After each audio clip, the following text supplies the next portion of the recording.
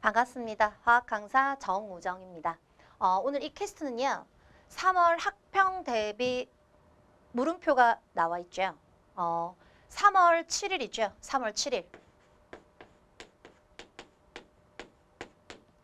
어, 우리가 수능과 같은 시스템으로 치러지는 시험이고요. 그리고 고3이 되는 여러분들한테 첫 시험이에요. 그래서 이 첫 시험으로 고3 담임 선생님과 아마 상담을 하시게 되실 건데요. 그리고 내신이 아닌 전국 단위의 시험이기도 하죠.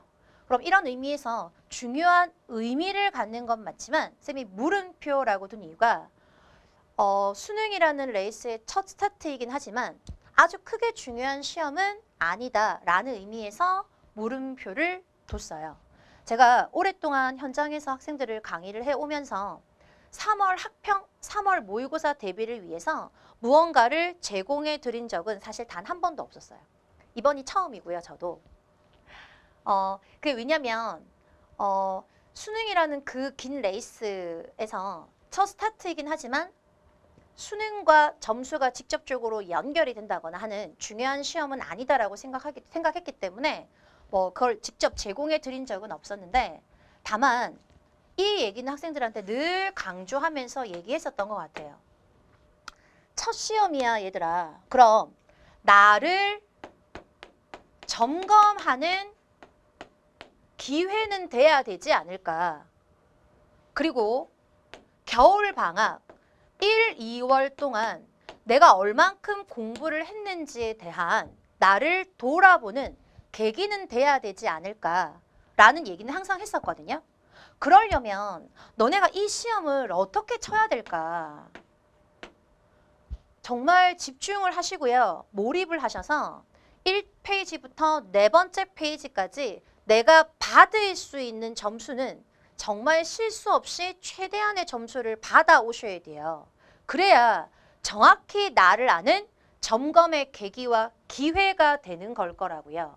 자, 어떻게 어떠한 태도로 시험을 치셔야 되냐면 1페이지부터 세 번째 페이지까지는 틀리지 않겠어. 실수하지 않겠어. 라는 걸 첫 번째 목표로 두셔야 되고요. 그리고 학생들마다 과탐에 대한 우선순위가 다르기 때문에 네 번째 페이지는 학생들마다 전략이 조금 다르지 않을까라는 생각은 당연히 하고요. 네 번째 페이지에서 자신이 어떤 전략을 펼칠, 펼칠 것인가에 대한 생각과 그리고 최대한으로 내가 받을 수 있는 점수가 아 여기까지구나. 그러면 앞으로 내가 어떤 부분에 중점을 둬서 공부를 하고 내가 부족한 부분이 뭐였는지를 반드시 점검하는 기회, 계기는 돼야 된다라는 건 늘 강조를 했었어요. 그래서 이번엔 제가 3월 학평 대비라는 제목으로 모의고사 1회분을 제공을 해드릴 거고요. 물론 해설 강의까지 같이 제공을 해드릴 거예요. 그런데 시험지 제목에는 3월 학평 대비라고 쓰여져 있지만 사실 제 목적은 그게 아니에요. 제가 여러분들한테 모의고사 1회분을 제공해 드린 건요. 정확한 이유는 이래요.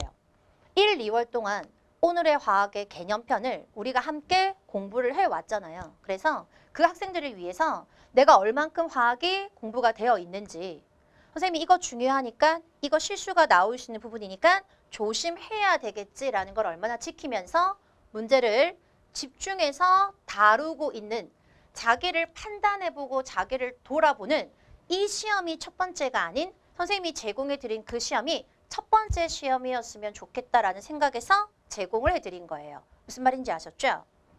어, PDF 파일로 다운을 받으시고요. 일단 28분이라는 시간을 주세요. 시간을 주셔서 최대한 집중해서 문제를 풀었을 때 내가 몇 번까지 풀어낼 수 있는지를 먼저 점검을 해주시고요.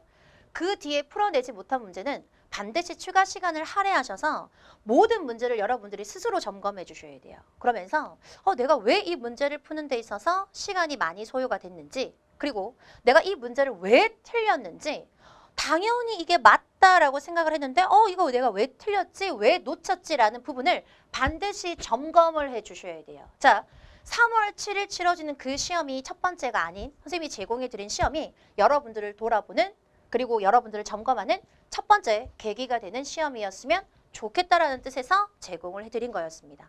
끝까지 되셨죠? 네, 그래서 시험지 다운 받으셔서 시험 잘 풀어보시고요. 마찬가지 그 시험도 좀 집중을 해주셨으면 좋겠습니다. 네, 그러면 해설 강의에서 뵙겠습니다.